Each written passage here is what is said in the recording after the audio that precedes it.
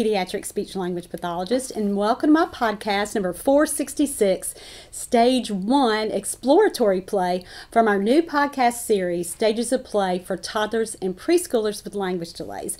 Brought to you by my website, Teach Me to Talk, where we're the largest provider of ASHA approved continuing education uh, credits for early interventionists and speech language pathologists.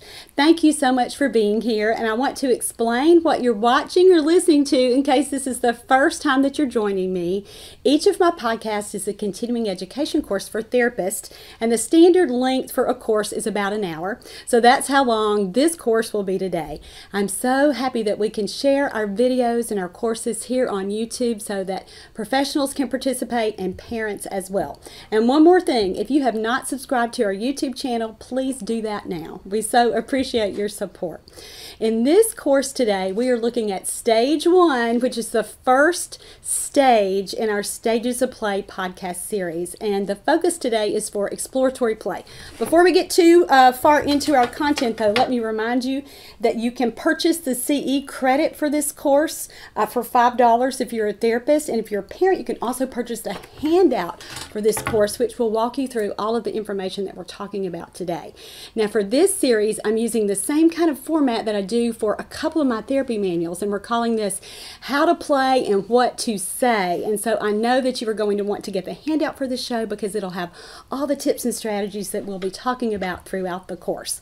Also, purchasing the handout is a great way that you can support our work, and so many extended caregivers, grandparents, teachers, nannies, other kinds of people who are connected to a child who is having some difficulty learning to communicate uh, email and ask how they can support our work. And so purchasing the handouts to send those to a child's parents or use them with the team or just use them during your, uh, your time with the child yourself. So again, you can buy the handout for $5 or any other amount that you would like to give because you can customize uh, that donation.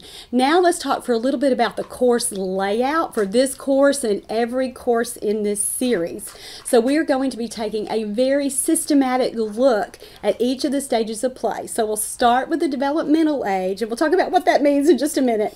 And then we'll be looking at the play skills, the language skills, the activities and strategies to help facilitate each of those play skills and language skills. And then lastly, we're also going to take a look at recommended toys. And so I want to make this series super hands on.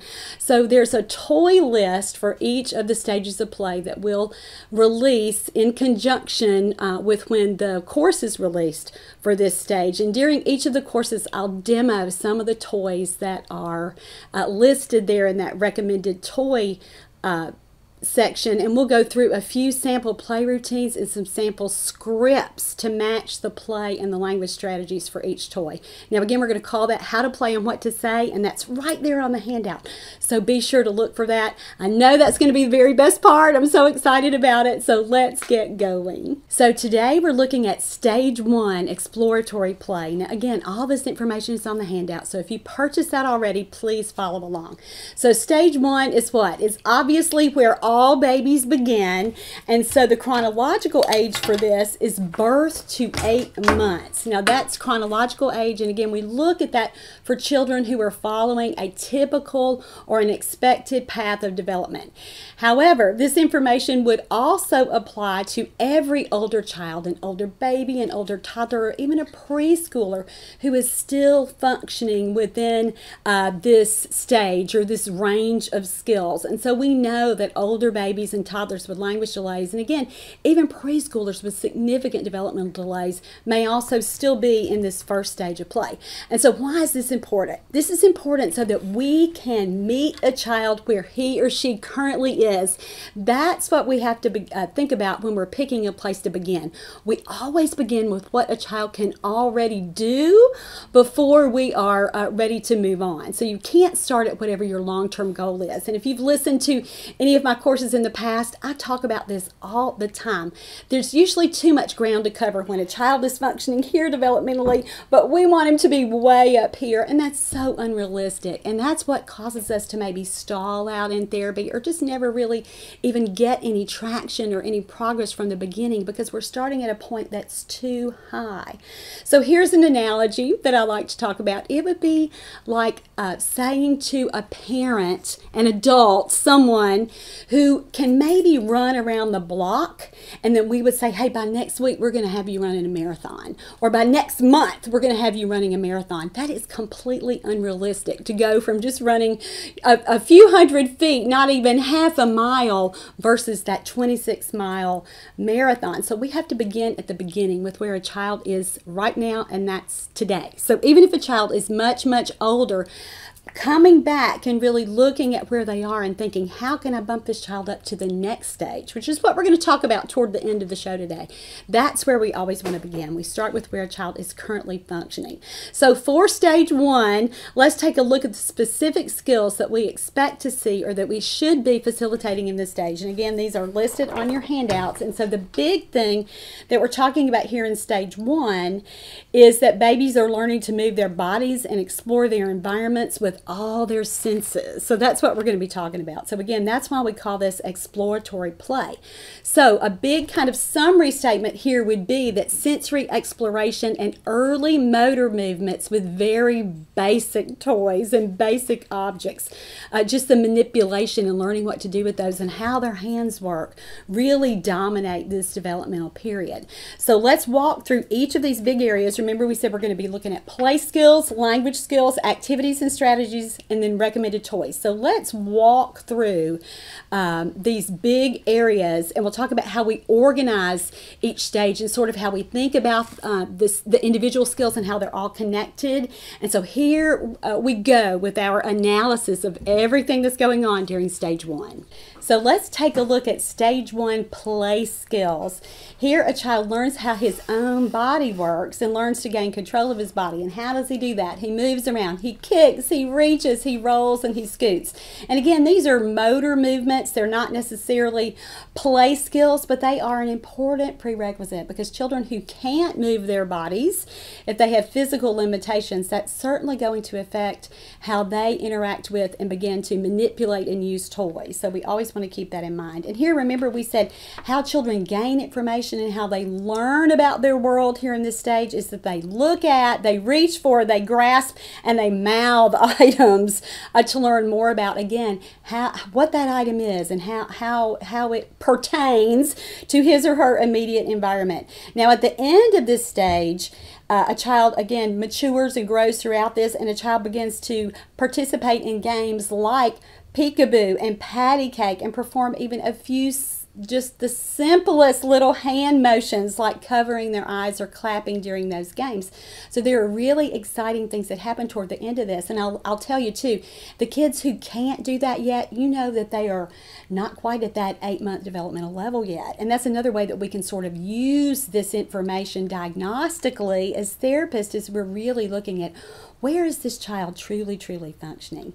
And we want to always talk about here uh, with all of our stages of play, and I mentioned this back in the introductory show, number 465, how we how we think about play too as far as social relationships. And so here at stage one, we characterize this stage of play as unoccupied, meaning that it's unstructured without any sort of real agenda.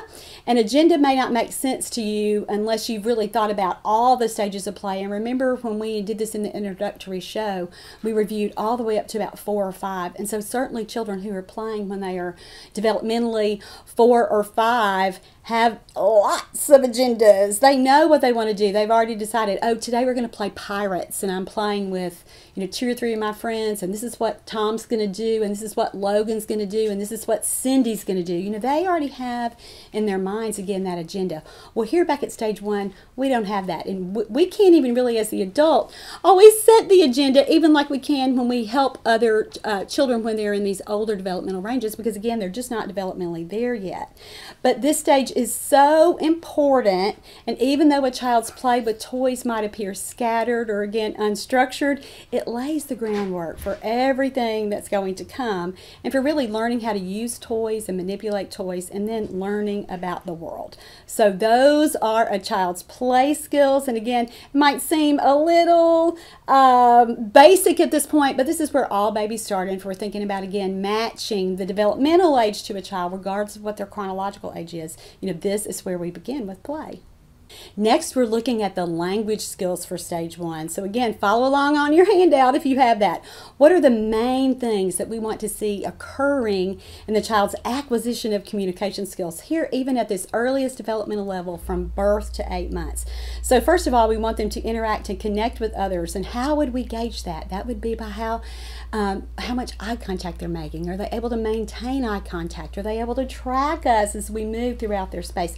How do they respond to us when we talk to them? Are they smiling? Are we seeing those positive, warm, nurturing, uh, well, our nurturing, but their responses to our nurturing? Are they aware of that? Are they, again, beginning that those first stages of reciprocity?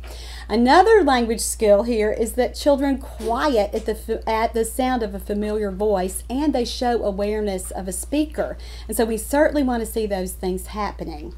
The third language skill, they learn to respond with smiles, movement, and early vocalizations like coos, laughs, squeals, whines, and babbling.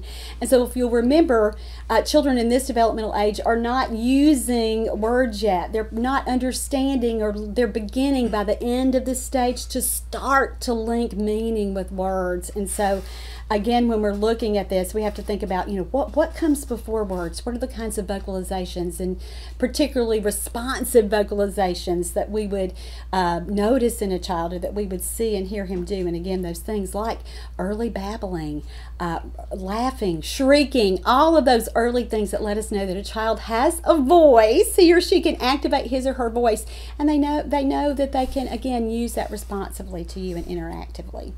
Uh, the next skill is that children, even in this earliest developmental stage, learn to convey their needs and emotional states. Sometimes, though, especially if, the, if children are not at, toward the end of this stage and moving to stage two, those things aren't even necessarily purposeful yet. But what do parents do?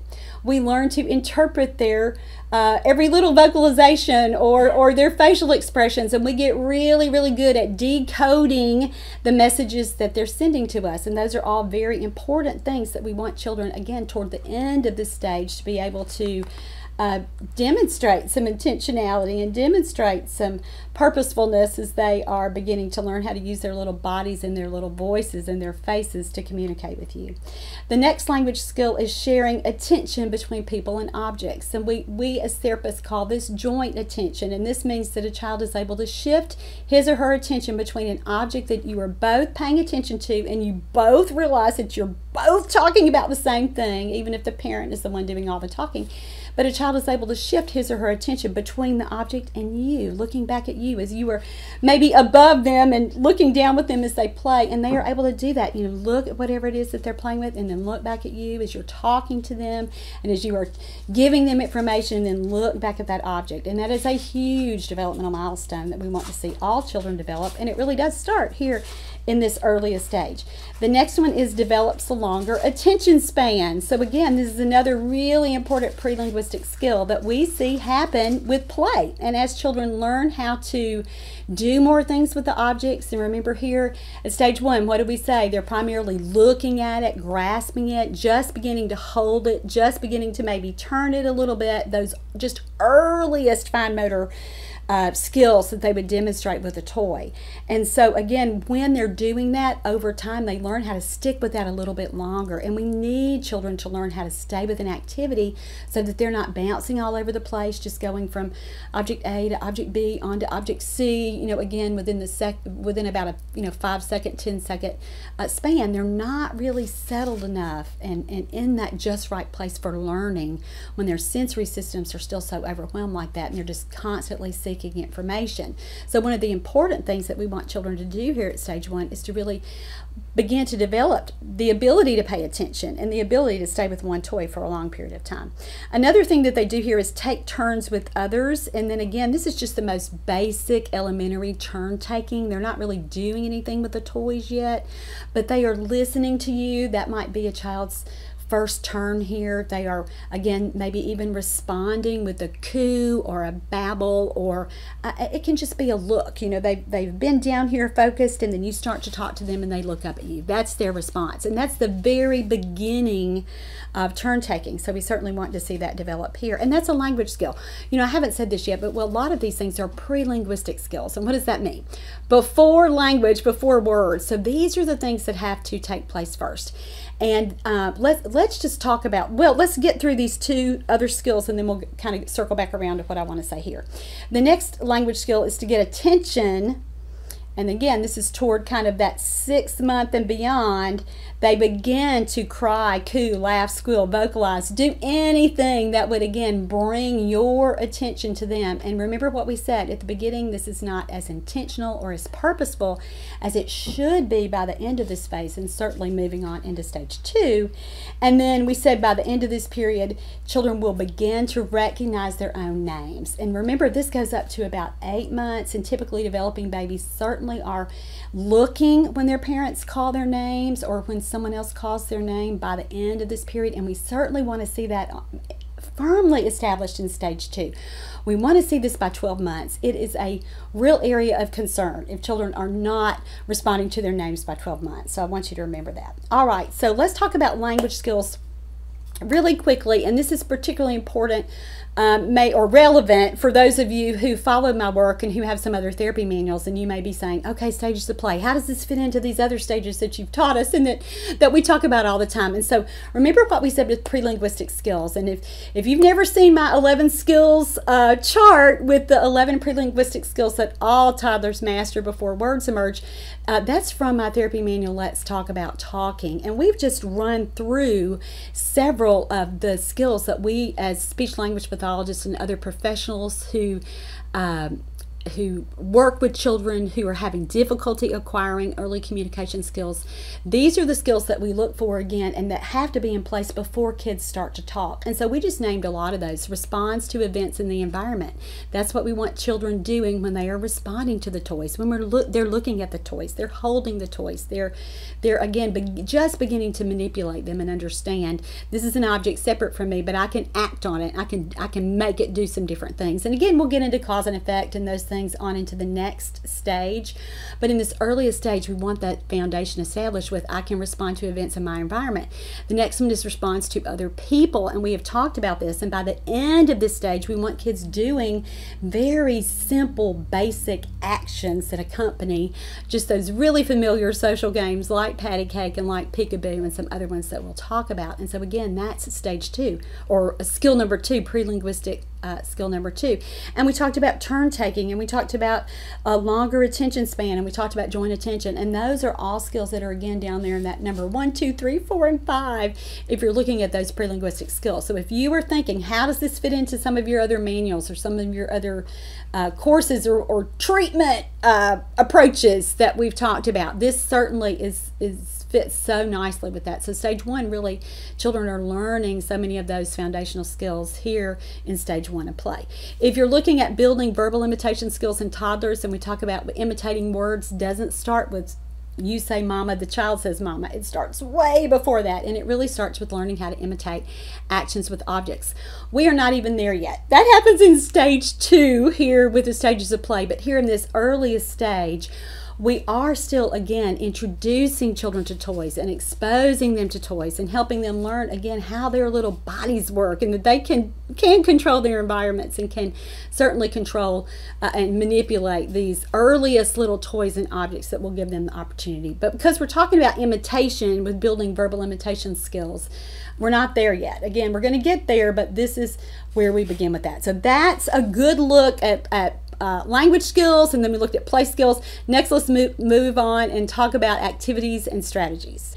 Now we're going to talk about the activities and strategies that we recommend for children who are in this first stage of play. So, what are these? First of all, children in this stage learn language by listening to a caregiver, and that would be whether you are singing, talking, reading, and certainly when you're playing little games with them. The second activity or strategy that we want to recommend, and again, let me say this is this is for you therapists that you're wanting, you know, to know what are the strategies that I'm going to list in my IFSP or my IEP, or these are the things that you would actually list, and these are the things that you would talk to parents about. All right, one thing that I say all the time, particularly here at stage one, is that we have to really teach parents how to enjoy their time with the child, so that it doesn't look excruciatingly painful when they are sitting and trying to play with their child. And again, uh, I'm not really exaggerating when I say that sometimes we have to really work with parents to really establish that. And a little line that, and, and sometimes parents get so uncomfortable when they're in therapy, especially at the beginning, and especially if the child has a significant issue and they're, again, they, they're there for your help, but they don't always know how therapy is going to go or how to proceed. And so you just really want to spend a lot of time talking about that and a lot of time talking about just just really learning to interact and enjoy that and be joyful uh, when you're playing together. And one thing that I always like to say is here at this stage, have to really focus on lavishing love. And that's so important because children here in these earliest stages of development, they're not really linking meaning with words yet. So there's not a lot of behavioral redirection that you can do just yet. We have to do a lot of environmental modification. But even while we're doing that, we want to be sure that our uh, our approach again is loving and that that again establishes those relationships that we want to get going right at the beginning okay i've already talked about this about a child's receptive language and this is so important to talk to parents about especially if they don't have a background in uh, childhood education or child development haven't done a lot of reading didn't really prep a lot for this baby that they now have. And so sometimes, again, their expectations of where language development should be are sometimes unrealistic. And so we have to really talk to parents in this phase. phase. And, I'm, and I'm not saying that parents don't instinctively know these things, they certainly do. But again, some of us, when they're, we just, we just have a gap when we're, especially in a blind spot, when we're talking about our own children. And so uh, we have to really help parents through that. And so as far as receptive language goes, and remember what does receptive language? mean? It means what children understand. So here at that this earliest stage, you remember we're talking about birth to eight months. Kids usually don't understand words yet, but it's so important that they hear you talk so that they can begin to link meaning with words. And again, by the end of this phase, and as they move on through stage two of play, we know that those uh, they will begin to understand language and they will begin to follow directions and they will begin to understand uh, again what particular words mean. So, what do we do? We talk about what a child is paying attention to. And so, here in this stage of play, one of the best things that we can help a parent do is not talk about things that are going to happen tomorrow or even this afternoon or whatever, or something that happened yesterday. We talk about the here and now. So, whatever a baby is looking at or paying attention to is what we should be talking about. And so, uh, and it's not just talk, talk, talk, talk, talk. There are other things that we can do to really make our language more effective and help children really learn how to listen and stay connected with us.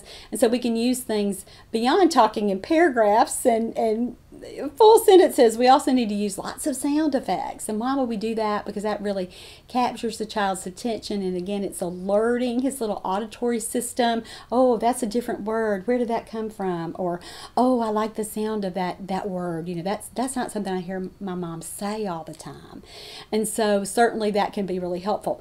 Single words and single words are so important because we know that the vocabularies of late talkers, new talkers, late talkers, every talker at the beginning starts out with what? Starts out with single words. And so instead of trying to always speak in full, complete adult modeled sentences, we have to really break it down and be really, really basic. And again, shorter phrases. And when we're using short, shorter phrases or even longer sentences, we know that we can do some things with word placement that will actually help a child learn that word more quickly if we can put the key word at the ends of our phrases and at the ends of our sentences that really I think about it as like leaving that last impression. That's the last thing that a child heard. And so, again, his little uh, brain begins to organize that and really register that and link meaning with the word that he's hearing with the object that you are showing him or that he or she are looking at. Uh, the next activity or strategy is one that we want to want to continue talking about throughout this show and this whole entire series, and it's key words. And so we want to be sure that we are thinking about vocabulary development and that we are purposeful and intentional when we're choosing the words that we target. And we want to use science-backed strategies and science to really and what research tells us works when we are choosing target words. And we'll talk more about that as we uh, look at the toys and move further along. But the but the the term keyword is what I want you to get there because we're going to be talking about that through the rest of this series. Um, keywords are so important not only as we play with the recommended toys that we're going to talk about, but they're so important during everyday routines too. And so, as parents perform caregiving routines like changing diapers, bathing, uh, feeding our children, those are the kinds of uh, activities that are so important for language learning too. And again it's it's the repetition with the keywords and it's the and i've already said this a couple times but it's how purposeful you are in teaching your child and in really as a therapist helping a parent learn that that's how children learn language. Uh, another activity or strategy that again this is more of a common sense one that we as therapists know and that we do but we're not always as deliberate about sharing with parents, but we want to really help uh, parents learn to use gestures to help children understand words and link meaning with words here in this developmental period. So, what does that mean? That means that they're going to point to toys that they're talking about, or they're really uh, tapping on the toy and helping a child direct his little eyes and his visual attention to that. So, again, that they are listening to your words and then linking that meaning with the visual picture that they're seeing. So, we want to be sure that we're providing cues. And we'll talk a little bit more about effective cues in a minute. And the last very valuable activity and strategy that's so uh, related to the skill uh, that we want to develop here with calling your child's name and helping him learn to respond to his name. And so sometimes we talk to parents about this, and then parents start to realize, I don't really call her by her name very much. I call her Sugar Boo, or I call her Baby Girl, or I call her whatever. And so then sometimes, again, typically developing children really don't have difficulty learning to respond and learning what their names are. And even at the four and six month level, they're really alerting to their names and really starting to turn when they hear a word that sounds like their name, even at about six months. And so we certainly, by the end of this period, want children uh, doing that. And sometimes parents think, gosh, you know, I haven't really worked on that very much. And and, and again, I want to, I just want to say, children have to learn. Children have to hear their names to be able to understand that that's their own name, right? And so that's certainly something that we want to talk to parents about. And that's here at this stage with stage one of play and language development. That that's one skill that we really want uh, parents focused on. So that was it for activities and strategies. Now let's move on and talk about recommended toys. So, with toys here in stage one, we have to remember that children are experiencing the world through their senses. So, we have to give them so many different opportunities. And like I said before, exposure is uh, the the kind of overall key concept here, and it's so that children have time to practice with the toys and have common objects, just so that they can learn how different items in their world how they look so they can use their their senses to see how they sound so they can hear them how they taste when they explore with their mouths because we know that mouthing is a predominant way that children learn about objects in their environment here at this earliest stage of development. And certainly how objects feel when they hold them in their little hands. But children really, it's not just about their hands here with fine motor skill development for uh, play skill development. They real, really are taking in everything. So we have to look at toys that really stimulate their senses. And so I've got a nice uh, list here at the bottom of page one of your handout. So toys that they can see. And so let me just go through these. And again, this is just kind of our general look. In a minute, we're going to look at real specific recommended toys, but right now we're just in the overview phase. So we need to give children uh, in this stage one different opportunities for uh, visual stimulation. So, uh, the best one here is an unbreakable mirror. And certainly, children at this phase, tummy time is so important. Even if a child is older, if he or she is not mobile and still in this stage, I'm sure that's something that you are uh, continuing to do, even if they're older and past this eight month uh, age range. Any kinds of mobiles, anything that's visually interesting for a child, particularly if they are not moving yet, we want to be able to give them, uh, bring different uh, opportunities for them to process visual information to them. Pictures of faces, and again, that's usually in books at the beginning of this, and we think about this with typically developing babies, we know that visually they only see in black and white until they're older, and again, that four to six month level there. And so, brightly colored uh, pictures are going after that stage is kind of when we start that. And if we're thinking about older babies and toddlers and preschoolers with language delays, their vision, you know, again, they're they're past that chronological age, but we still again kind of want to think about that with the high contrast. And lots of our little guys end up uh, having some visual problems. They uh, sometimes with our global developmental delays, you know, visual issues, children need glasses or some other kind of, certainly our accommodations to help them be able to um, see better. Uh, anything like touch and feel books, because again, why is that important? They're using two senses together. They're they're uh, merging their visual senses with their little hands as they feel the objects too. Soft dolls, stuffed animals, and uh, toys with lights. We're not going to, as I said, talk about too many electronic toys here because sometimes that can really limit a child's ability to participate. We'll talk about the reasons why in a few minutes. Uh, but but though, let's just say those were the that's our list there for objects that we would think about uh, helping a child see or use his visual uh, sense. The next one is hearing, so it's auditory sense. So what does that mean? We need to provide toys that make noise, so that and not necessarily electronics. I'm talking about toys that crinkle, that squeak, that rattle, that ring, Music toys are always great, but even things like a rain stick, we're going to talk about that, or certainly even mom and dad's recorded voices on really simple, uh, low tech AAC options to use if we're doing that. Uh, the next one is taste. So, what are some things beyond diet that we can do to help children again. And remember, we said that mouthing is a predominant way that children experience toys here in this phase. So, teething toys or any object that's safe to mouth and chew. And so, we do have to worry about choking risk here. And so, you always want to be sure that you are evaluating the safety uh, of any choice that you present. And that's, you know, important not only as a mom, but certainly as a therapist. And then, lastly, feel their tactile sense. So, anything like texture blankets, taggy toys, touch and feel books, rattles, bendy balls, links, squeezable toys, uh, and then soft dolls and stuffed animals, and even even toys that vibrate. So those are kind. That's kind of the overall view. Remember what we said. Why are we doing this? Because this is the exploratory phase, and this is uh, where children again are really beginning to integrate all of the information that they're processing, things that they see, things that they hear. How does that feel? Uh, and, and, again, that's certainly uh, the beginning point of play for every child that we're going to work with. So, those were the big ideas or main areas that we are looking for and trying to facilitate in stage one. So, next, we're going to move on and talk about how to execute and how to implement therapy at this stage is we use play to develop language, or sometimes it's vice versa, where we use language to develop play skills. So let's move on and take a look at that now. So we're talking about implementation, and remember I told you that I was going to call this how to play and what to say, and so this is on the second page of your handout for this course.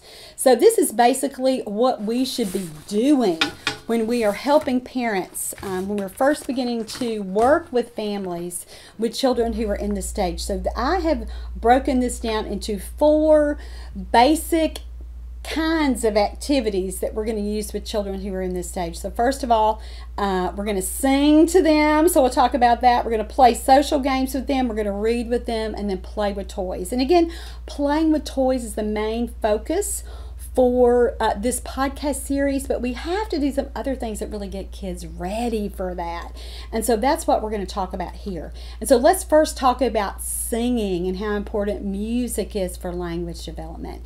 And we know that singing certainly attracts a child's attention and keeps him interested in what you are doing, even if he doesn't understand all the words. Most toddlers love music and love singing, and it's one of the easiest things that we can do. Uh, to again work on language even even without the talking piece and we certainly want to make parents understand this even throughout a child's everyday activities now we can and I, let me say this lots of times with children who again are difficult to um, they have some difficulty learning how to interact with other people and they're really kind of doing their own thing or sticking to their own agenda, singing sometimes really is one of the first ways that we see them be able to connect with someone. And I've had parents tell me, over and over and over. You know, I just learned that music was my primary way of getting him interested in what I wanted him to do. So they'll say that I developed a song for everything, so that we had a song for eating breakfast, and we had a song for taking a bath, and we had a song for getting in the car, and we had a song for, you know, getting dressed, just all the things that you would do throughout the day. And so many parents have told me that that's a one strategy that really, really worked for them. So when we start to first work with families, particularly with families who have children with pretty significant delays, if that's something that they're not doing and you recognize that that child really likes music and every time you sing to him, that's certainly a very practical and functional strategy that you can get going with very little effort other than you just talking to your parent about, hey, do you see how he lights up when I sing to him? You know, watch him, watch what's about to happen here. Have you noticed this with me? And so really really, again, walk a parent through that and then help a parent come up with some different songs that they can sing. For example, they might sing You Are My Sunshine every morning when their child wakes up. And again, are we really teaching them to link meaning with, you know, sunshine and that? No, we're helping children learn how to listen and learn how to interact and learn how to respond. Uh, it might be that they're singing Twinkle, Twinkle, Little Star. You know, that might be one of their nighttime songs that they sing. And so, again, help parents really come up uh, with some of those songs. I've listed some familiar songs here on the handout so you can take a look at that if you need help with that. And the therapy resource that I recommend for that is my therapy manual, uh, Teach Me to Play with You. And I'll be sure to link that below here uh, in our description on YouTube. And so the, learning those kinds of songs and teaching a parent the hand motions for those. And again, by the end of this period, we want a child doing that with us. And so we have to get those routines going and get that established pardon me, so that a child again learns how to be with us, and singing is a great way to do that.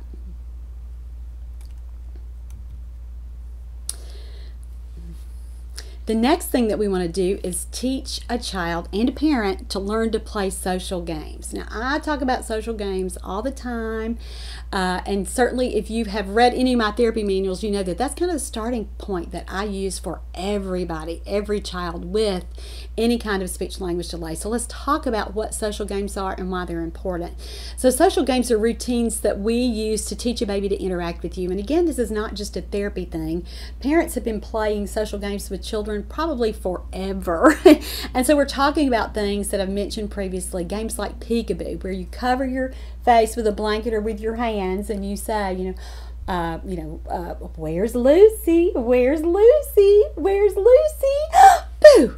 And so, again, over time, we want a child to begin to respond to us with that game, to smile, to act excited when their head is covered, or when, you know, eventually when they're learning to put their little hands over their own face. You know, certainly you're going to do that at the beginning. But any of those little games, and again, this, like we said before, um, th- these teach children to learn to interact with you and to stay with you and to want to listen to your words and link meaning with that. And then the other main skill is over time, it teaches a child to begin to imitate your actions. And remember what we said about when a child learns how to imitate words? You can't just start with the words, they start with earlier, easier skills. And so remember, we said that we can't teach imitation yet with toys because the kid isn't there yet, but we certainly, again, can begin by the end end of this period to teach a child how to imitate some really simple actions and some body actions. Uh, and so, again, to get this going, uh, as therapists, we just have to teach parents these little games and convince them to play. And so, I just usually, in, to get these going in therapy, I say to parents, you know, teaching social games is one of the things that I do at the beginning because over time, a child is going to learn how to do his part, meaning that he's going to copy what I do and imitate me. And all kids have to start there. They're not going to have a kid learn how to imitate words until he can imitate actions and until he can imitate body movements. And so that's how we can start to talk about that. And so, and I just teach the little play routines and the social games. Again, they're listed here on your handout if you want to get that. And if you need real specific instructions, step by step instructions, Teach Me to Play with You is a great uh, therapy resource for you to do that. Uh, I'll link that below, like I said, but I'm also going to link a podcast. Um, called Social Games, and I think it's number 402. I'm pretty sure it is, but where we walk through a lot of different social games. But here for for this, you know, let, let's just say that we want to get these little games going. And so, a great way to do this, like we talked about with songs, is to really teach parents really specific social games that they can pair with everyday routines. And so, one of my favorites is, um, you know, we talked about peekaboo, and you can certainly do that when they are changing their child, or, you know, in you can play it all day long in the bathtub, you can play it in the car seat, you know, in the van when you're going to pick up your older children, you can play it in the grocery store cart anywhere, anytime. But when you start get really specific with parents about, hey, you, you know, when do, when do you think you could play this game and make this a part of your routine? And the reason this is good for children is because of the repetition, and that's how all kids learn everything. But for parents, it's just a reminder to play the game because so many times parents will say, I forgot all about that, or I didn't even play that with them this week. Oh my goodness, I can't believe I didn't do that. And so if we can link the games with their everyday routines, it's going to be a lot more success. Uh, they'll be a lot more successful with it. Uh, so things like uh, this little piggy when you change a child's diaper or peekaboo when you're drying them off at bath time or when they're wait they're waiting on their meal they're sitting in their high chair and you know you've got to wait for that food to cool before you give it to them. You know maybe that's the time that you can always play patty cake or something. And again why are you doing that? You're teaching them to interact with you. So that's a social piece of language development. And over time, remember what we said, our main thing is we begin to teach them to understand what words mean as they as they remember the little songs and then understand, you know, when mommy says this, we always clap. You know, that's how they get there. And then imitation. That that's another big skill that we teach with social games. Our next thing that we want to talk about here is reading. Now, reading is one of the very best ways to connect with your child and to teach them new words. And actually, you don't even have to read all the words in a story. The main thing that you're going to want to do here is point to pictures and label what the picture is. And so, again, if there's a picture of a dog, you're going to point and you're going to say something like, Dog, see that dog? I see the dog. What's the dog say? That dog says woof, woof, woof. Dog. And so, what are some things that, as a therapist, you know this? What are some strategies that I use throughout that? You know, we kept it really, really simple. I used the keyword, which was what? It was dog. We put the keywords where? We use them as single words, but we also use them at the ends of our phrases there for emphasis. And we uh, did some exclamatory words there too with our little uh, dog sound, right? And so those are the kinds of things that we say with a parent. And we say, even though you're using the book, you know, here's what's going to help your child learn what these words mean. And so that's how we talk about it.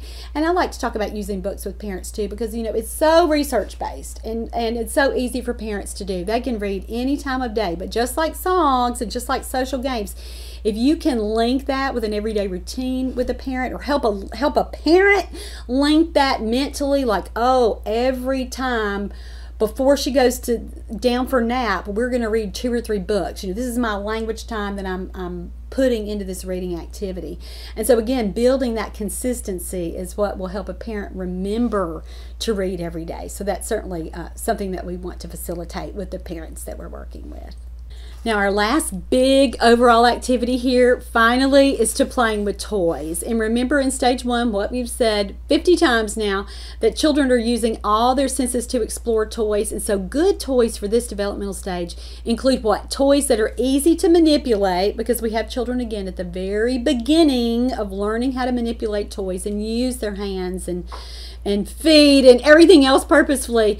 And so, babies and toddlers who are in this stage with this exploratory play are going to be drawn to toys with lights and music. And again, we talk about that a lot, especially for our little guys who do have some uh, sensory issues. And I don't mean sensory issues as far as things being uncomfortable or they're a sensory seeker versus a sensory avoider. I mean real sensory issues like hearing loss or like some difficulty seeing. And so with kids like that, we do think about toys that will help them develop and refine those skills again that uh, you know really learn to listen. But at the same time we have to be sure that we're including toys that don't have the bells and whistles to help a child really learn how to focus his attention. And again our primary things here are how to hold how to look at and manipulate a variety of toys with his or her hands so that they are developmentally ready to move on to the next stage of play with toys. And that next stage of play, stage two, is actually called non functional play. But when we get there, kids are beyond the holding. You know, and here again, our primary skills are what? They're going to hold a toy, look at the toy, mouth the toy, listen to the toy. You know, that's all we want in stage one here. That children, again, that we see that they are using their senses to really uh, process and learn new information. So, but even at this early stage, we should show a child how to play with a toy and then, if necessary, help him learn what to do by gently using our own hands uh, to guide him to play. Now, we have talked about this a lot in previous shows, and we certainly talked about it back in the introductory show 465 for this series, and we reviewed two pieces of really common sense, obvious information, but guess what? They're research based, so they're evidence based. So, Research tells us that the best thing that we can do to help a child learn how to play with a toy is what? It's for an adult to show him how to play. so, adult modeling. So, here, even at this stage where kids aren't doing a lot with toys yet, we still should be helping them and showing them what to do, which means that we are we are down there looking at the toy with them. We're, we're putting the toy in their hands. We're directing their visual attention to it. And again, we're giving them something to listen to as we talk about the toy. So, adult modeling was important. And the second part of that is cueing. And remember what we said?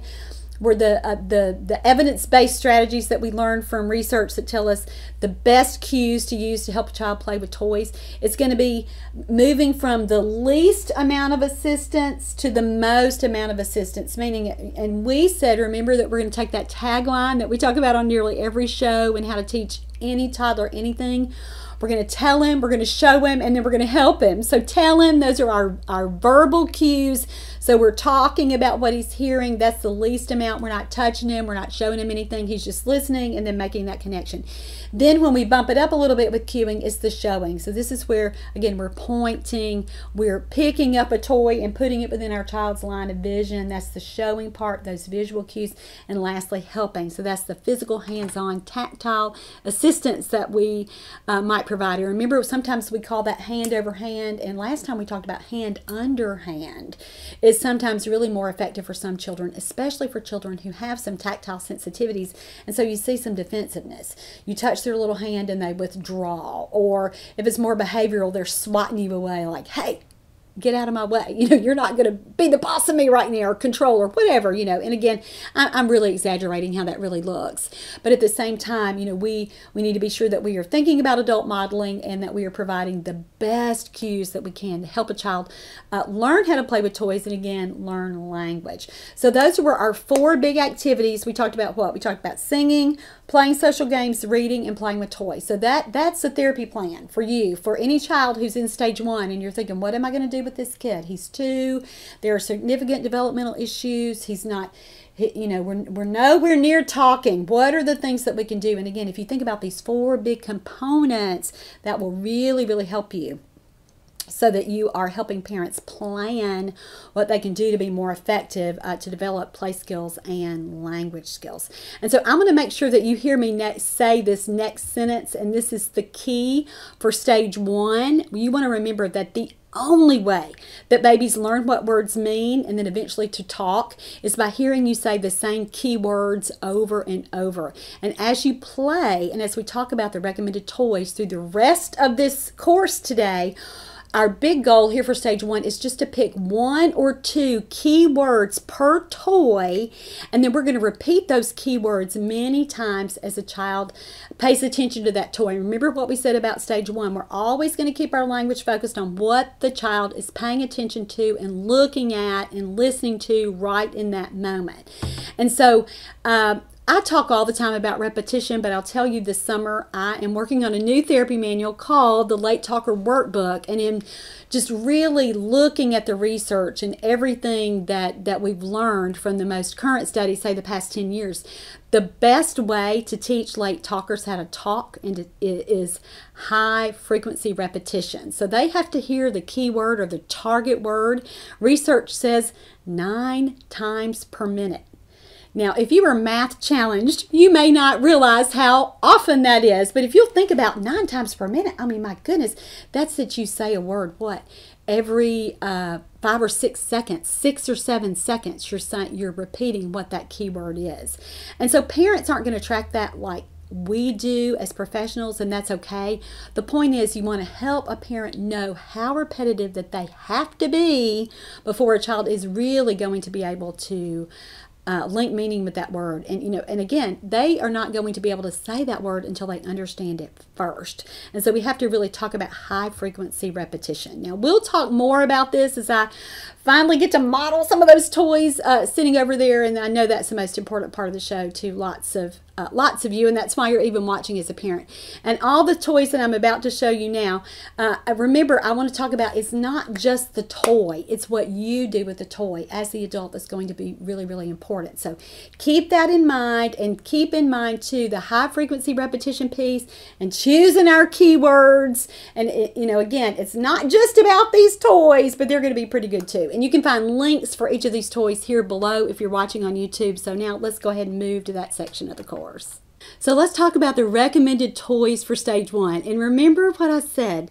Now, because these are basic skills and basic toys, you may be a tiny bit underwhelmed as we walk through this toy list. And remember, we said too that we're going to avoid toys with bells and whistles because they can actually limit a child's ability to learn language. And why would that be? That would be because kids get stuck. They get stuck pushing the button or flipping the whatever and don't really move beyond that. And so we want to really be able to, here at the earliest stages of play, provide opportunities for children to learn how to hold a toy, look at a toy, develop their little attention spans without all those other things that can really interfere with that.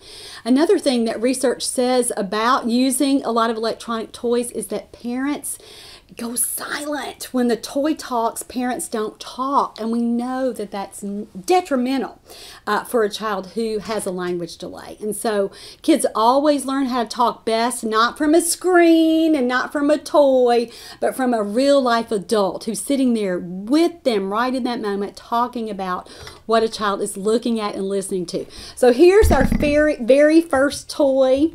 Uh, it's a fabric ball and so I want to get my notes so that I can point out a couple really cool things about this toy. This toy is a wonderful choice for tummy time because it's not so frustrating for a child that they're not going to be able to do some things with it. When they touch it, when they try to grasp it and hold it, it's going to move just a little further away, which would get, again would be an incentive for a child to move.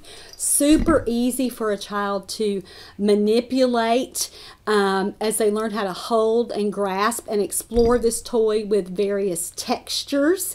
And let's go ahead and talk about our language strategies here. So what's your keyword going to be? What's your keyword going to be with this toy? It's what? Of course, it's ball.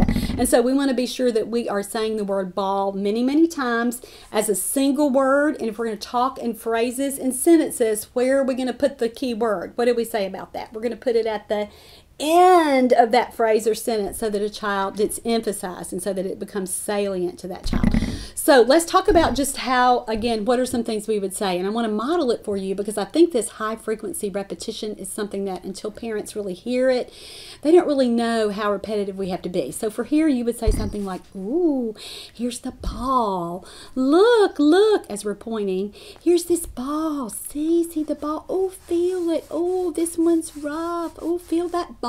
See the ball. And again, the key point here is that you're going to repeat your target word over and over and over as many times as you can. You're not ever really going to be too repetitive. Don't worry about that. Uh, and again, this is a great first toy, first choice for this stage. The next toy I love for this phase is a spinning drum. And again, this is probably my favorite toy that I'm going to show you.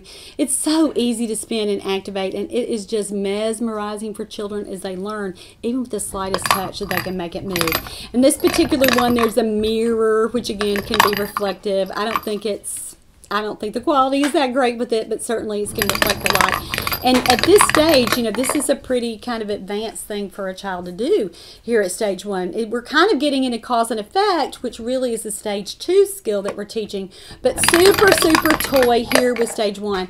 I love all of these Montessori toys because they're so simple, they're so classic. And as a therapist, again, you may have even gotten caught up in the bells and whistle kind of cycle with choosing toys, particularly for children here at this age range, because frankly, sometimes we don't know what to do with those kids, right? But this is a super, super toy. Uh, as a parent, if you don't have this kind of toy, if your child is in this stage, I know that this is something that you're uh, going to want to look at because it's just so, so effective for teaching a child to learn how to stick with the toy, uh, to develop that longer attention span. And again, it's it's more challenging than a rattle or something else that a child would hold, but it doesn't take very much to activate. Now, as a therapist, you're probably thinking, okay, what can my key word here be? And remember, we said that predominantly the vocabularies of new talkers are what? They consist mostly of nouns. But here, I want to challenge you a little bit and say that even choosing a really simple action word might be a better uh, choice for this rather than spinning drum, or you get my point with that. Whatever the toy is, it may not make sense to really use nouns. So here, using a verb as your action word. So something like what? like go. You know you could even start the beginnings of verbal routines which we'll talk you know we talked about with our social games. That's really what social games are. Children learn that you say the same words at the same time this with the same hand motions. And so you could certainly even start something like ready set go as a child spins this but even an exclamatory word like wee or you know whoa but anything that you can pair while the child activates the toy uh, would be a really good choice for your keywords there. So this is a super little toy uh, and it's a great addition to your toy uh, vocabulary or, or toy uh, inventory uh, if you uh, don't have that already. This next toy is a tissue box, and I just love this too because the papers that come, the tissues are crinkly and perfect for teaching babies to listen as they play, and it's the very beginning of cause and effect as they learn. Hey, that's what happens with this toy every time I touch it. I hear that really, really cool noise. The other thing that the papers provide are really important tactile support, and this particular version, and I think I have, I, am not even sure if this version is still available, but I've linked several versions of tissue boxes if you look uh, in the recommended toys post, and this one comes with a, a scarf so a scarf-like texture. So you've got not only the crinkle papers, but you know another option. And I think that's important as children uh, learn contrast. You know, this crinkly paper, this this one does not make the same noise, and it doesn't feel the same as this one. And certainly, this toy has tons of bright. Uh, colored pictures so we talked about the visual senses that a child is learning to do that too so uh, let's talk about keywords for this toy. And remember what we said about sometimes nouns don't make as much sense to use. You know, you could teach tissue or paper if you want to, but my keyword when I play with this toy is probably pull. You know, as a child, uh, as you see them reaching for the toy and as they grab it, again, I think that would be a great keyword. As you exaggeratedly say, pull, pull, pull that paper as they're trying to get it uh, out of the box. Another keyword here might be listen, uh, listen, and certainly as you're pointing uh, to your ear there and you're really helping children uh, stop and pause and, and really understand that they are causing that noise to happen. And remember what we said, it's the beginnings of cause and effect. Those cognitive concepts really aren't realistic uh, don't don't aren't really mastered until they get to stage two but we are forming the foundation here in stage one. And so this is a nice early toy to start thinking about cause and effect. And so if you like this one there are lots of versions um, below too uh, that you could pick but it's a super addition to your toy inventory I love this next little toy. It's a wobbler. It's smaller than the ones that I've purchased in the past, but I love it for kids who are here in this stage one play. And remember, it's a classic toy. The skills that you're working on, if you're not, if you're a developmental therapist, if you're not an SLP and you're thinking about those fine motor things and how to document this, eye hand coordination and muscle strength are the skills that you're really uh, focusing on here and babies can touch it and uh, you know no matter where they touch it it's going to wobble and so it's going to create an interesting visual effect. It's just the right size for little hands. I mentioned that it's smaller than the ones but those are probably heavier. This would be a nice one uh, for as children move on to stage two and as they become more mobile i can certainly see that this would be a toy that children want to pick up and uh, walk around with as they like to do.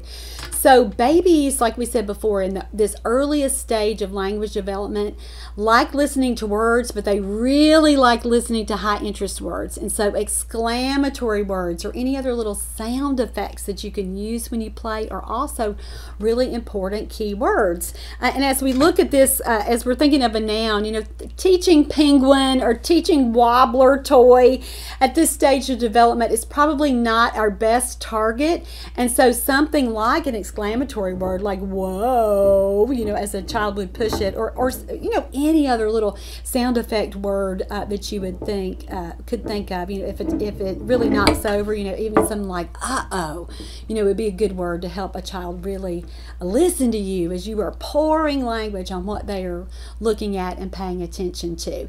And remember what we talked about with visual cues, and we said that the visual cues would tell him, show him, help him. That that's the second part of our cueing with a child. And so, really, uh, teaching a parent to uh, use their visual cues and really tap or really, you know, again, the tactile cues with helping put their child's hand on the toy to teach a child that they can uh, operate the toy. And so remember, we said that anytime that we have a toy that we are paying attention to and that the child is paying attention to, we, we call that working on joint attention. And that's so important for learning language because we want a child, again, able to shift his attention between you as the adult who's talking to him, who's giving him that language input and certainly with what he's paying attention to and then what, what he's doing during that playtime. So this is a great toy to think about working on joint attention. And when I work on joint attention with children, one of the things that I think about doing is making my face easier for a child to be able to include in his play routine. So sometimes we have to do that positionally. And certainly with a toy like this, what would you do?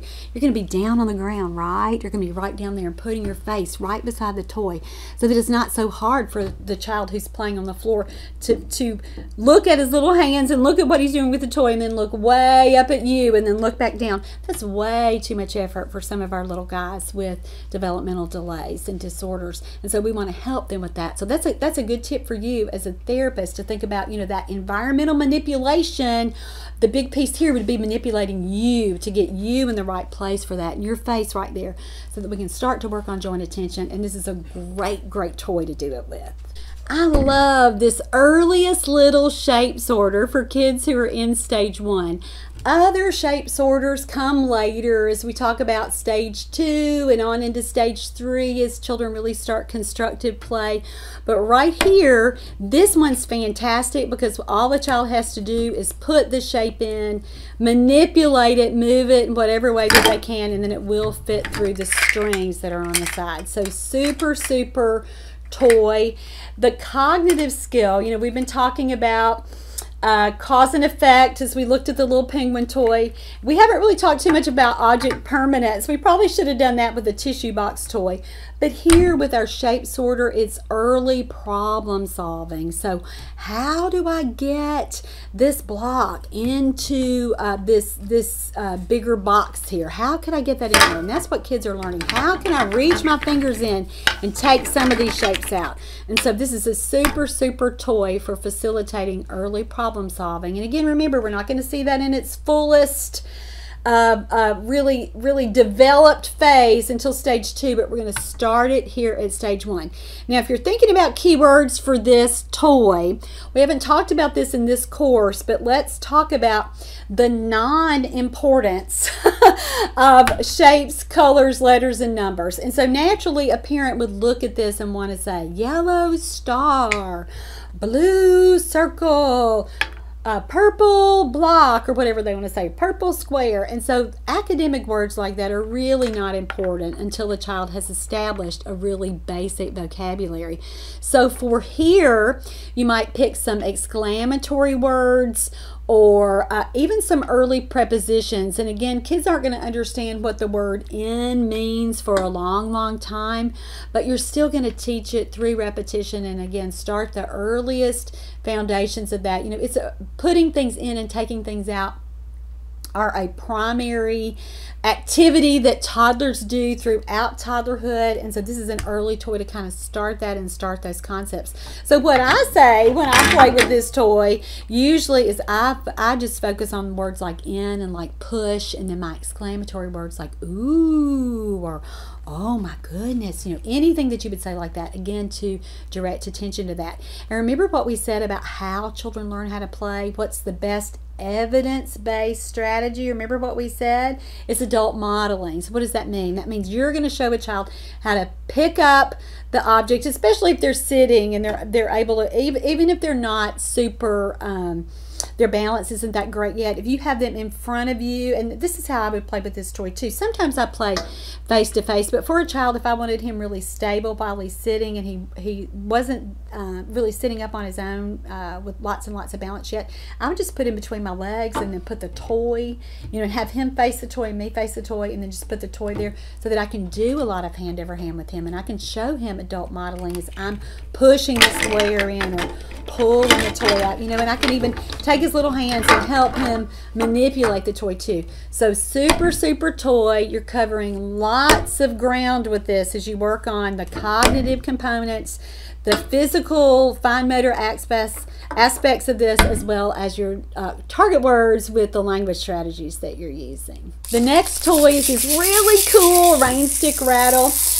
I don't know if you can really hear it, but the beads are they're not irritating or like some of our electronic toys, right? This is just a really gentle sound that really teaches kids how to listen. And again, they we've got the uh, the beads as they fall over the the uh, turning pieces of this. Super super interesting for babies to look at. Uh, they can with this toy learn how to hold it, shake it, roll it around. It's another great toy for encouraging mobility.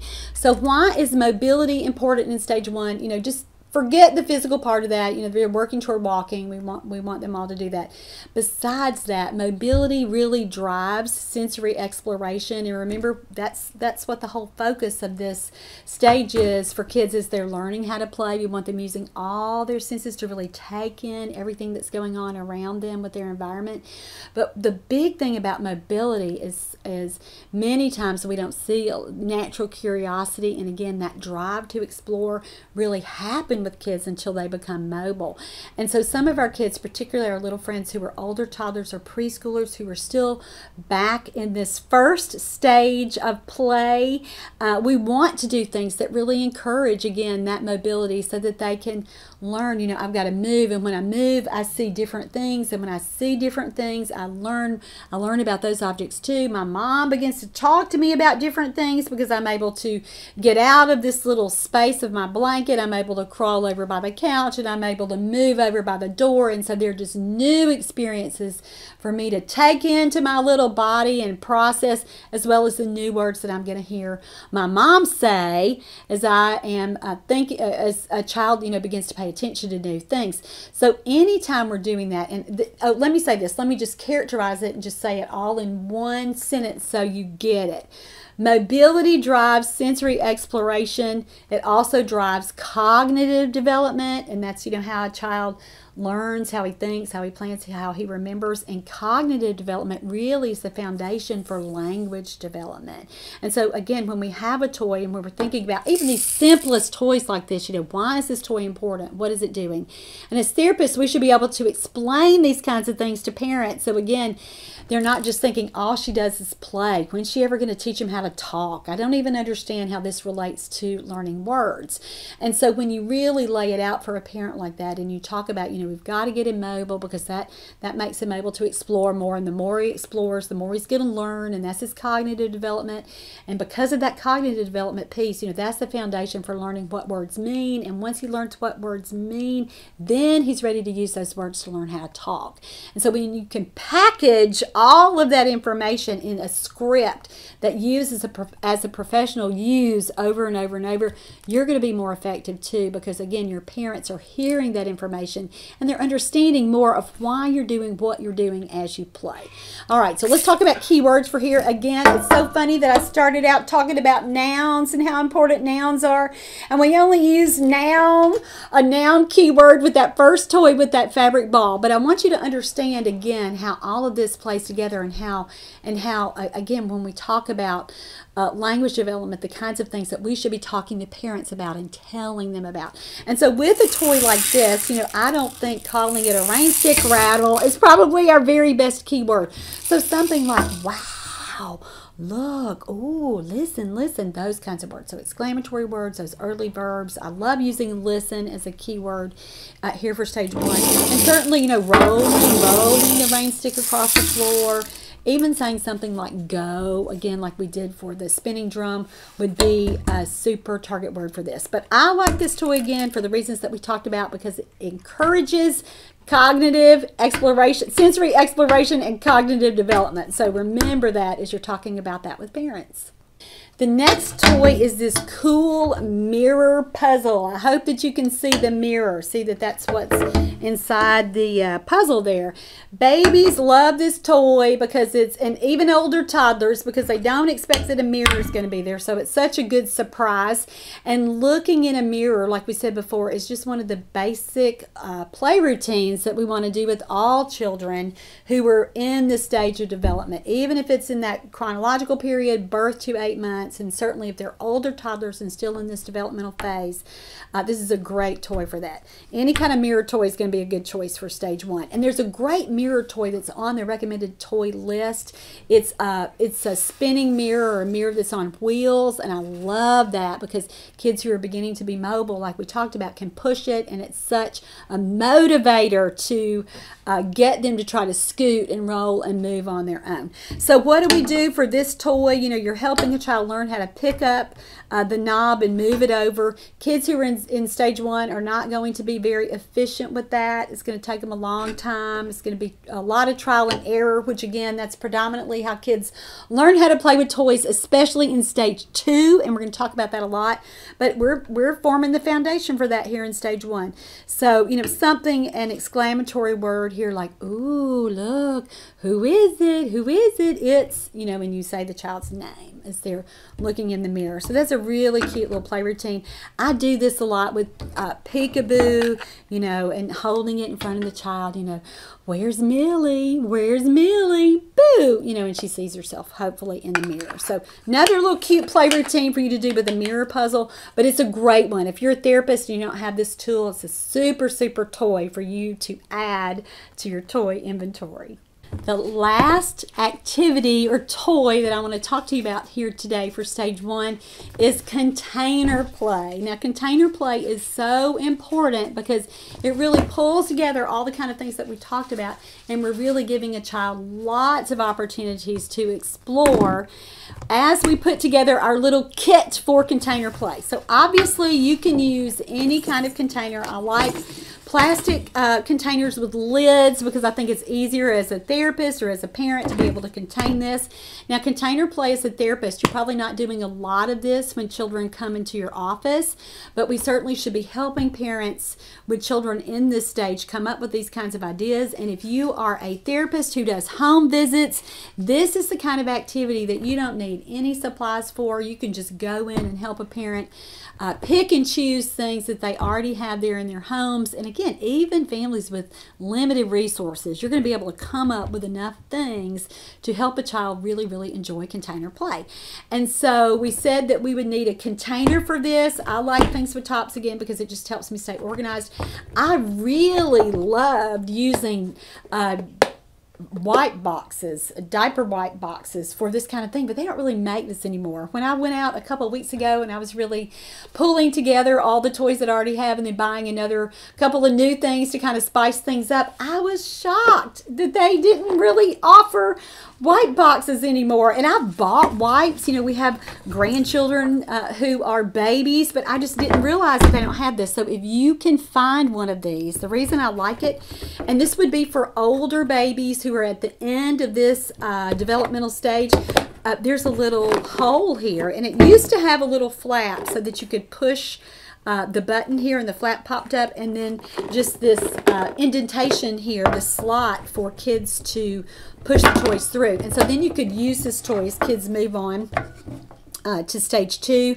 But I really like that option. If you can't find it though, any bucket, pan, bowl, anything like that will do. So what you're going to do is assemble toys that do different things. And remember what we said, we want for sensory exploration, we're always thinking about what can a kid see, what can a kid hear, what can a kid feel, and what can a kid mouth. And so look for safe toys and options. And for container play in the most traditional sense, you want a child or a baby who's in this phase just to be able to sit down, open this container and take the toys out one by one. Lots of times they're into dumping what's in the container and that's fine too because remember what we said, dumping and filling will be a predominant activity throughout toddlerhood.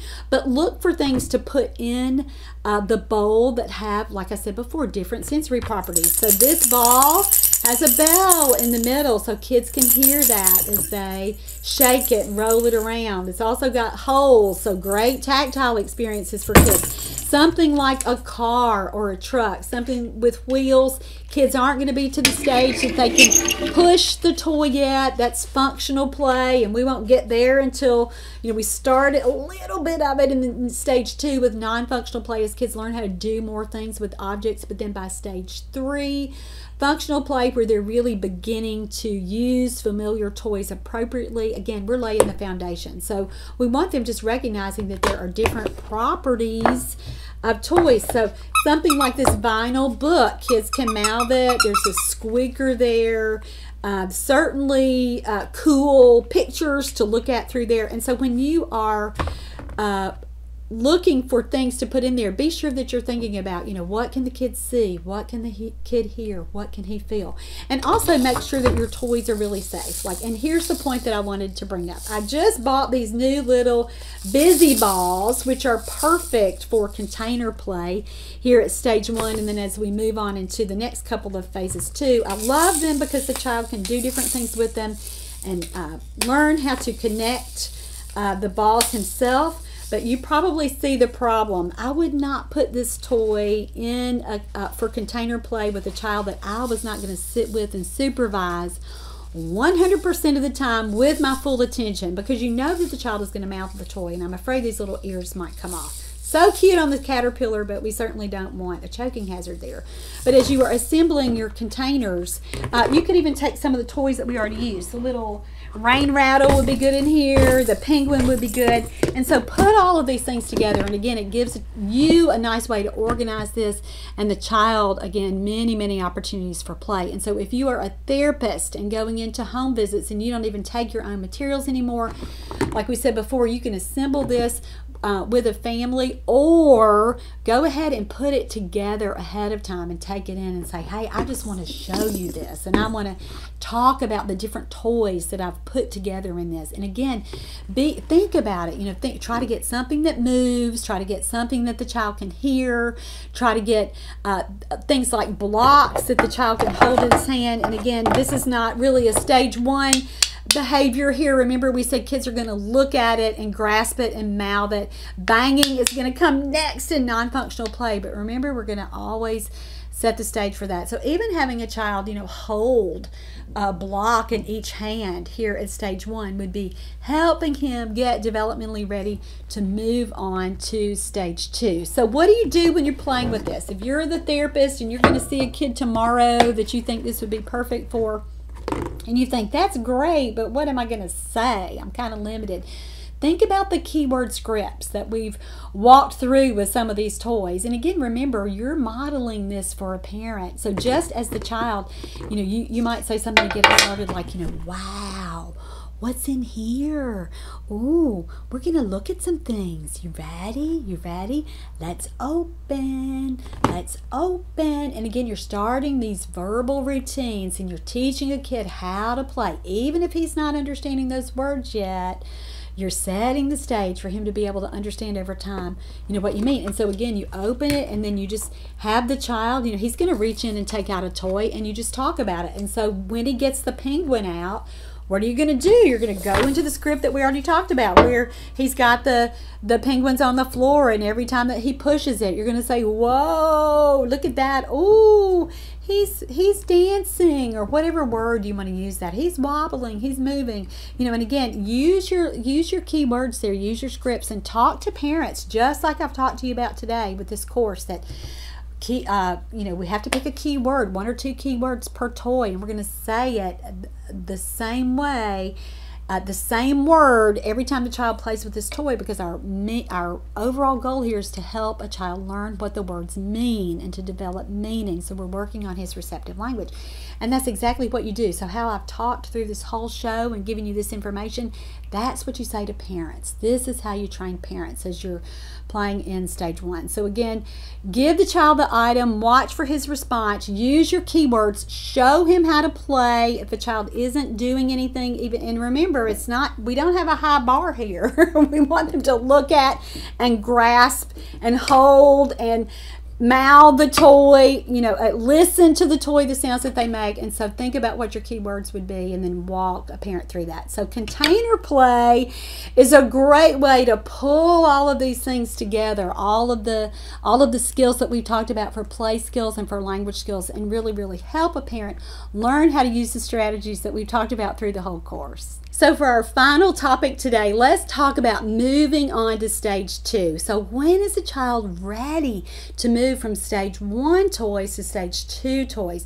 And that would be when he really starts doing very simple actions with objects. And again, we're not going to make the bar so high here. So in, I try to think about it anytime that I see a child holding objects and looking at objects and trying to do something or manipulate the object beyond mouthing. And so when you see mouthing, mouthing's still developmentally appropriate until the child is 24 months developmentally. But when you see that mouthing start to subside and you see oh she's holding those toys better. Oh my goodness she has a toy in this hand and she's reaching for a toy with that hand. You know they're having some uh, using their hands separately. They're able to do that those kinds of things are when you look for moving on to stage two. And remember what we said stage two is if you watch the introductory show, it's non functional play. So, this is when a child learns how to do that next little rung of skills, which would be things like banging or patting or pushing or stacking anything that's beyond holding, mouthing, or something like dropping. But I even think dropping is a little bit higher skill than stage one. But again, we're going to look for those, and we're going to look for those readiness signals that we say, "Oh, I think she's ready to bump on up because she's paid more attention here today. She's she's she's trying to do more things with the toy, so that I know that we're ready to bump up." And I'll tell you from my own experience, container play has usually been where we notice an increase in the play skills that move kids towards towards stage two. So as I said before, if you don't have container play going with a kid who's in stage one, get that going today because that, uh, you're going to put all of those opportunities right there, kind of in one one episode of play, and so that will help a kid be ready to move on to stage two. And so that's what we're going to do in every show here in this uh, podcast series: is talk about what the stage is, and then show you the toys, talk about the language strategies, talk about the play skills, and then talk about how to know that a child is ready to move on to the next phase. All right, I have all the toys plus some additional toys recommended for this stage in a post that I've called Stage 1 Toys. And so that's going to be right here, uh, the link below here on YouTube. You can also find it on my website at Teach Me to Talk for course number 466. You would just search Stage 1 Toys. I also want to let you know that I have a new Therapy Tip of the Week series coming up that we're offering with this podcast series uh, super soon. As soon as as I get the uh, that video recorded, I will link it here on this course so that you can see the toys too. And we're going to talk about some different ways to organize the toys and present the toys. And it's sort of the parent version of uh, what this longer course has been. Now, if you want to find out more ideas about working with children in this stage of play and language development, I want to remind you of the two therapy manuals that I mentioned before. Let's talk about talking and teach me to play with you, and I'll have those links below too. That's been a lot of information, and that is all for today. Thank you for sticking with me through this entire course. We so appreciate it. If you need your CE credit, be sure to get that at my website at Teach Me to Talk, course 466. And if you're watching on YouTube, the link is right here below. All right, that's it for today. I'm Laura Mize, pediatric speech language pathologist, and thank you so much for watching this course from Teach Me to Talk.